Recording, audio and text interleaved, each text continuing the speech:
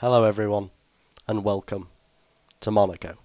Now, there's a good chance that there's going to be a simply horrendous accident going into the first corner of this race. There's 11 of us, of which I'm 10th, in a Mercedes, and the chances of there being contact into the first corner are about as likely as Christmas being on the 25th of December every year.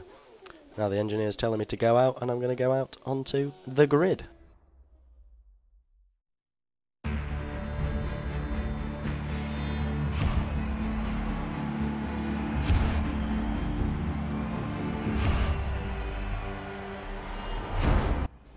So, I'm P10.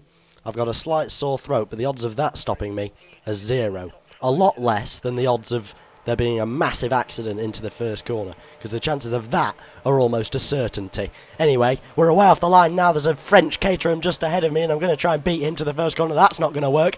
And we're getting towards the first corner. There's a bit of contact. There's lots of contact. There's huge amounts of contact. There's cars everywhere, and there's I'm, I'm, I'm sideways. I'm not pointing in the right direction at all here. I'm faced with a barrier. I'm faced with a penalty, and I've been completely. Now, let's see what we can do from here, because I can guarantee that isn't the end of the con contact and carnage in this race. I can guarantee there's more to come, because this is Monaco, and this is the first day of F1 2012, and this is going to be absolute madness. As you can see already, I've caught up with this Virgin, so I'm going to be looking to overtake him very, very shortly. Very shortly indeed. Anyway, let's see if I can do the Virgin up the inside, which I'm going to attempt at the hairpin. Very rash and almost very successful, but uh, it just ended me with getting a face full of barrier, and uh, the Virgin's still ahead of me. So there's a spun out Mercedes there, and I've just pushed the Virgin into the wall. So that's bad driving on my behalf, but sack that off. We're going through the through the uh, through the tunnel now. Massive amounts of rear skidding going on from my car, but regardless, I'm up into P7 just by keeping the car on the circuit so far. I haven't actually overtaken anyone fairly yet. Anyway, as we go towards the final sector of the last uh, of the last the final sector of the first lap, sorry, there was a there was a Red Bull there, and I'm still struggling to hold this car on the track. It's like blooming F1 on ice. This it's it's a tragedy, and I've just hit the back of the Williams. He'll be cheesed off, and no and no doubt uh, so will this Red Bull that's getting up behind me. And now the HRT pushes me in the wall and gives me a penalty. So thanks for that one, Codemasters. And it's the end of lap one now. So it's a 149. So I'm only about 21 seconds off the pace as far as Monaco's concerned. But uh, regardless, we're going to uh, try and. Well, I'm seventh out of nine now, so two people have left. And oh dear, I've lost it into the wall up the hill. The rear tyres in this just do not do not stick to the tarmac. It, look at him, you saw him there just skidding away. It is definitely F1 on ice, this this track. It's just too bumpy. And and on this game it just you cannot keep the rear wheels where you want them to be. Wherever you want them to be, that's where they're not going to be. Okay, so if you want them to be straight, then they're going to be bent. That sounded a bit weird. Regardless, we're going to move on and overtake a, a, Red Bull that's clearly having difficulties finding grip. And I've used all my curves under the tunnel on P5, and the game wants me to finish P5 or above. I'm now P4, which is very helpful. I have, still haven't actually overtaken anyone. I'm just overtaking cars that can't keep that. Where has this guy come from? I've just smashed into the wall.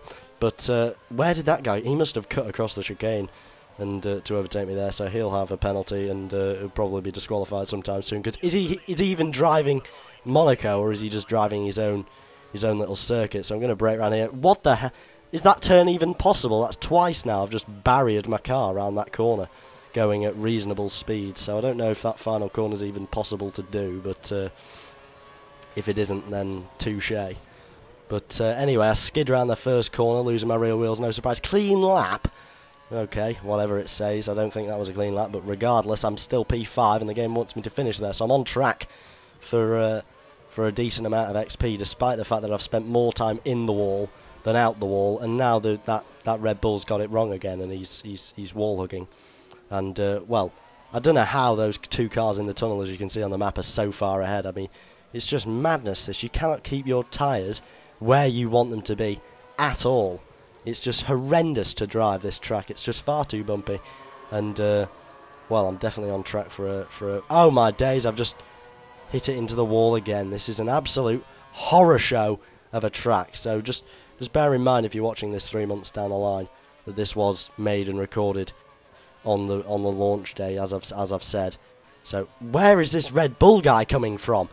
He's right up behind me again. Surely he's been disqualified. Surely he's... Yeah, he's been disqualified. Anyway, I'm right behind this Williams. Let's see if I can make this turn.